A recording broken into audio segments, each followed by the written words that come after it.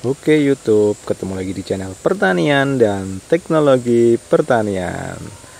Oke, pada video kali ini kita akan men-share tentang tanaman manggis. Tanaman ini dulu pernah kita review pada waktu berbuah e, lebat banget.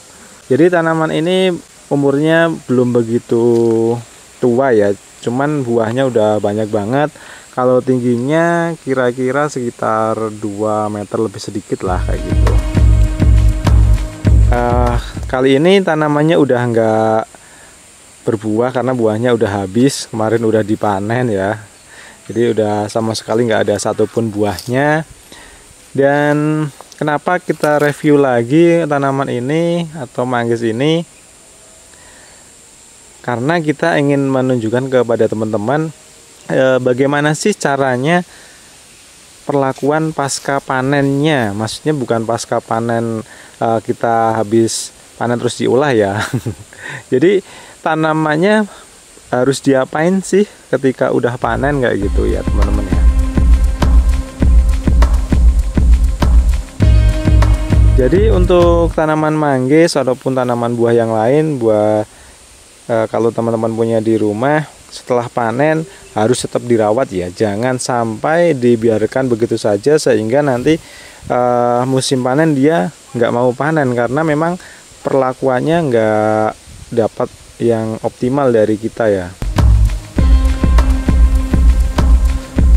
Oke untuk perlakuan yang pertama adalah teman-teman harus uh, memperhatikan hal yang hal-hal yang sepele yaitu dari pembersihan gulma gulmanya sendiri kita harus bersihkan minimal kayak gini teman-teman.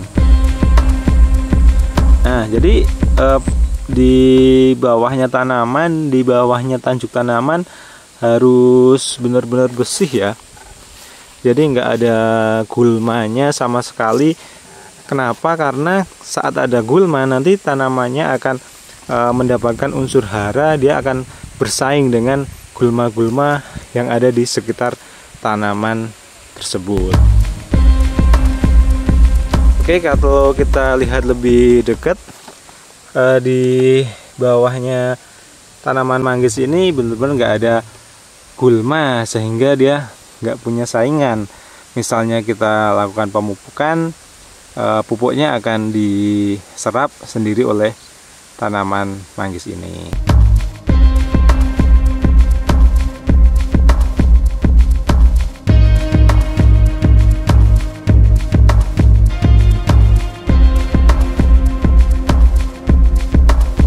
Oke, yang selanjutnya eh, perlakuan yang selanjutnya kita harus membersihkan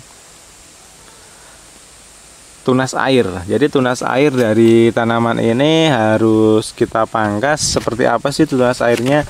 Yang mana sih tunas airnya kayak gitu.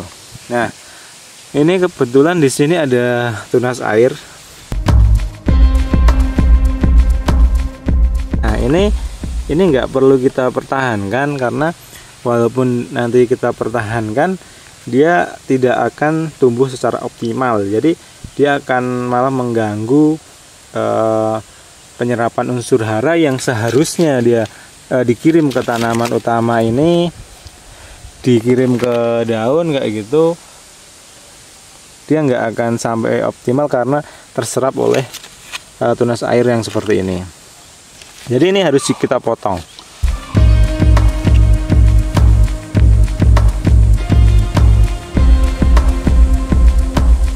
Oke pemotongannya seperti apa?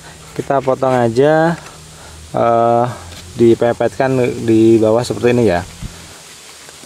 Karena ini tunas muda uh, pemotongannya lebih gampang ya. Nah jadi ini dibuang aja. Sama yang satu lagi ini juga ada kita potong jadi kita tidak memerlukan tunas air di situ. Karena kalau uh, ada tunas air pasti pertumbuhannya tidak begitu optimal kayak gitu ya. Oke selanjutnya untuk cabang-cabang yang mati kayak gini ini juga harus kita potong aja supaya penyerapan unsur haranya dia lebih optimal. Oke potongannya kalau lebih efektifnya sih pakai uh, gunting pangkas ya.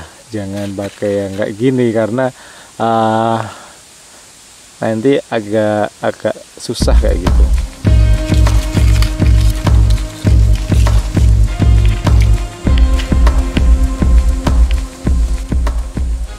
Oke untuk perlakuan yang selanjutnya yaitu kita harus memberikan nutrisi. Nutrisinya apa? Hmm, nutrisinya adalah pupuk ya.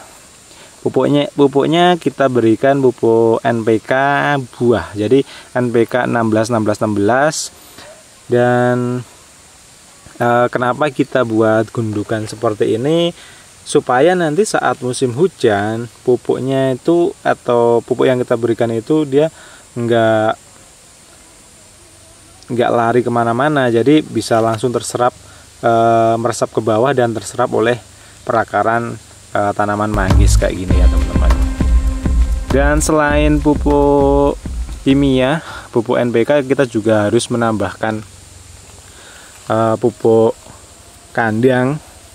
Karena pupuk kandang itu selain berfungsi untuk e, nutrisi tanaman dia juga berfungsi sebagai e, mikroorganisme tanah. Jadi tanahnya dia akan lebih gembur sehingga aerasinya akan lebih optimal. Oke buat teman-teman yang mungkin uh, punya tanaman manggis juga kok nggak besar-besar kayak gitu boleh banget uh, komen di kolom komentar di bawah. Boleh tanya-tanya juga ke sini supaya nanti tanamannya uh, bisa lebih besar dan cepat berbuah. Terima kasih sudah menonton video di channel pertanian dan teknologi pertanian.